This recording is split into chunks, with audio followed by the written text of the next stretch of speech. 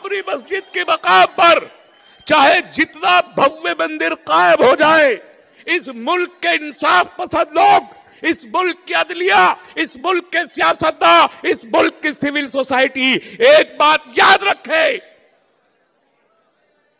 बाबरी मस्जिद वहाँ 500 साल से थी। बाबरी मस्जिद के मलबे पे रामचंद्र जी आज बैठे हैं और मंदिर चाहे जितना बड़ा बन जाए, मस्जिद का दावा कायम रहेगा। उस वक्त तक जब तक मस्जिद बन नहीं मैं खुलेआम कहना चाहूँगा दो दो चार की तरह मुकदमा साफ़ है कि मस्जिद को शहीद किया गया है।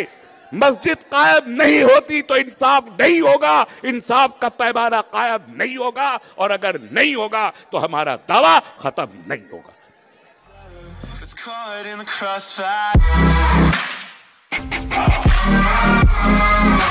It's caught in the crossfire.